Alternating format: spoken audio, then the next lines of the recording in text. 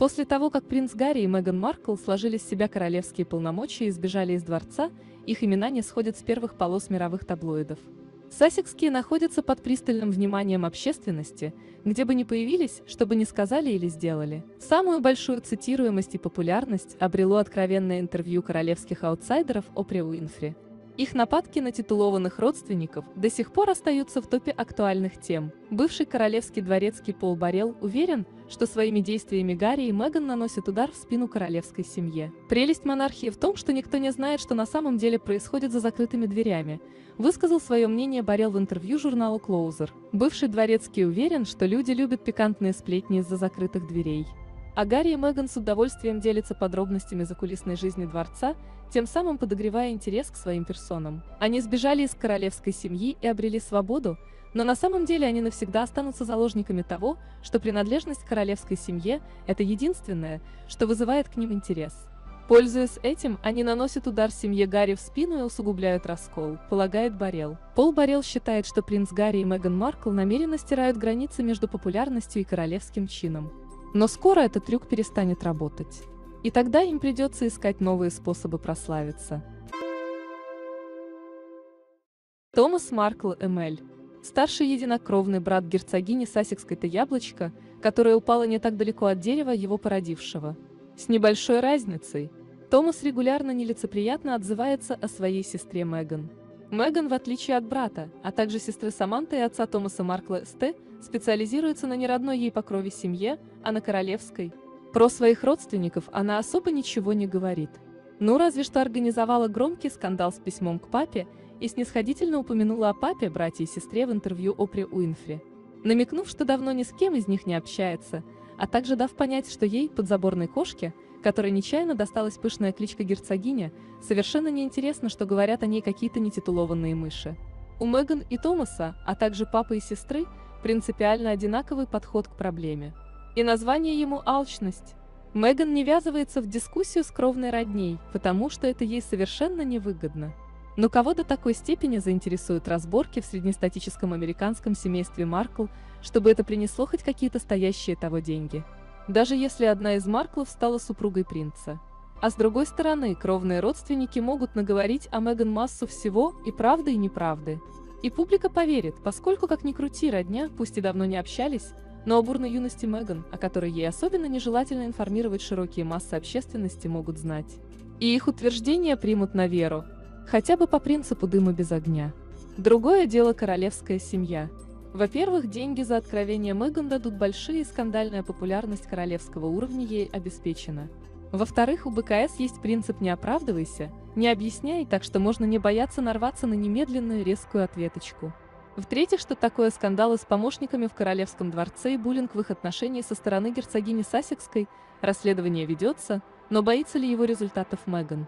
По сравнению с подростковой беременностью, ребенком, отданным то ли сестре, то ли в приют и яхтенным опытом, которые, конечно, существуют на уровне слухов, но о которых чисто теоретически могут проболтаться родственники. Так что Меган дружит, как червяк с яблоком, с королевской семьей, а ее брат Томас в той же роли червяка выступает по отношению к герцогине Сассекской. Всем хорошо и Меган, и Томасу. Томасу сейчас особенно хорошо. Он участвует в австралийском телешоу Big Brother VIP и регулярно появляется на ТВ в трейлерах, где вольготно рассказывает о своей младшей сестренке. В очередном выпуске он сообщил, что брак Меган с Гарри долго не продержится. Принц уже лежит на разделочной доске.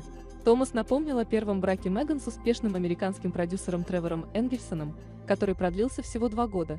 Парень, за которого она вышла замуж в первый раз, она просто окрутила его, а потом бросила. Теперь на плаху положен Гарри.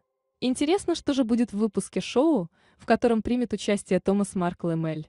Узнаем через месяц, именно тогда он выйдет на экраны.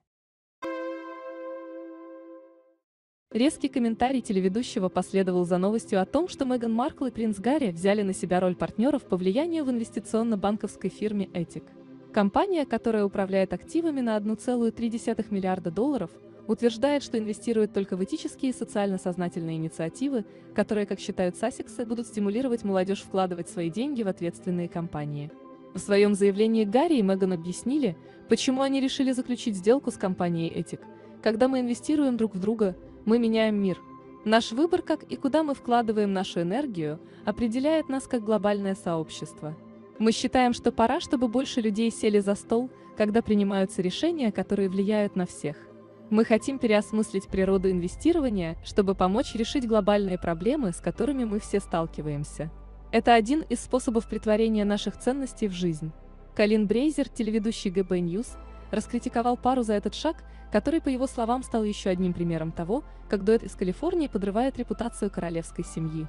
Ген Брейзер заявил, что принц Гарри продолжает разрушать десятилетия королевского протокола, последовательно развивая тесные связи с политиками и крупным бизнесом.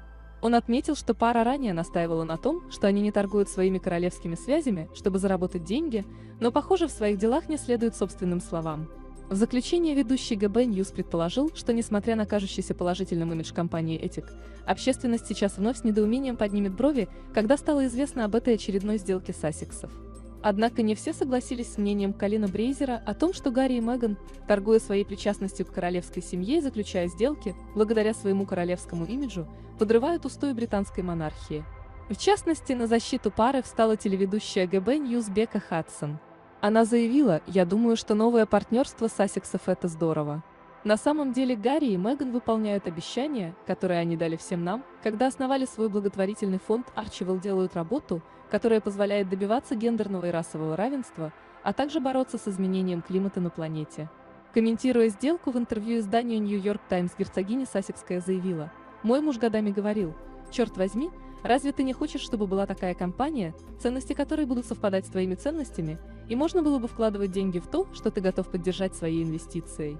В настоящее время, тем не менее, нет точной информации, будут ли Сасексы инвесторами компании Этик или просто станут бесплатными партнерами по влиянию. Забота об экологии стала одним из главных приоритетов королевской семьи в этом году. Принц Уильям и его отец ведут свою деятельность в Британии, принц Гарри и Меган Маркл в США – на днях принцесса Евгения решила последовать примеру близких родственников и выступила с призывом защитить океаны. Девушка написала объемную статью, в которой подробно описывается, как климатический кризис влияет на акваторию Земли и что мы можем сделать, чтобы остановить его, пока не стало слишком поздно. Статья за авторством принцессы была опубликована в журнале Spear S Magazine. Над материалом также работала Клэр Брук, генеральный директор фонда Blue Marine Foundation, Главным выводом исследования стало превозглашение океана лучшим естественным решением проблемы изменения климата на планете. Также в статье высоко оценили экологические работы, проводимые на острове Вознесения. Инициаторы планируют защитить 99,5% от острова. По данным статьи, если применить опыт, полученный на острове Вознесения повсеместно, нас ждет восстановление рыбных запасов и возрождение углеродно поглощающих сред обитания в течение нескольких лет. Все это должно смягчить последствия климатических изменений. Если мы будем работать вместе, чтобы защитить его, океан защитит нас навсегда. Напомним, что незадолго до обращения принцессы Евгении, герцог и герцогиня Сассекские встретились с заместителем генерального секретаря ООН в Нью-Йорке, чтобы поговорить об изменении климата. Недавно состоялась поездка герцогов Сассекских в Нью-Йорк. Специалисты утверждают, что пара не может найти контакт с народом. Меган и Гарри побывали с трехдневным туром в Нью-Йорке. После выхода в свет супругов получили массу критики в свой адрес. Многие уверены, что этот тур был использован для повышения своей популярности и показания своей высокомерности, а реальной помощи людям не было. Главным предметом для критики стал выход Меган Маркл в школу для бедных. На такую благотворительную поездку Меган надела кашемировое пальто, которое стоит немалых денег. Специалист королевской семьи Кэти Никол уверена, что подобными поступками Меган полностью разрушает свою репутацию. Кэти считает приехать в школу в брендовом пальто, которое стоит больше, чем совокупный доход большинства родителей в школе, это просто бессмысленно. Это лишний раз доказывает, насколько Меган и Гарри оторваны от реальности. Другой специалист, Роберт Джонсон, стал участником шоу The Royal Beat, в котором высказался о том, что в ближайшие несколько лет люди перестанут любоваться красивыми и дорогими нарядами герцогов, а будут все больше высказывать раздражение ими. В этот момент супруги могут потерять свой доход. Но сейчас герцоги Сассекские могут оказаться в Великобритании уже 12 октября. Именно в этот день будет проведено мероприятие, посвященное принцессе Диане. На встречу придут более 100 человек, в том числе принц Уильям. Ставьте лайки, чтобы видеть в своей ленте больше новостей о знаменитостях. Я благодарен каждому за подписку и комментарий. Пишите, что вам понравилось или не понравилось в комментариях, я прислушиваюсь к мнению каждого для улучшения качества статей.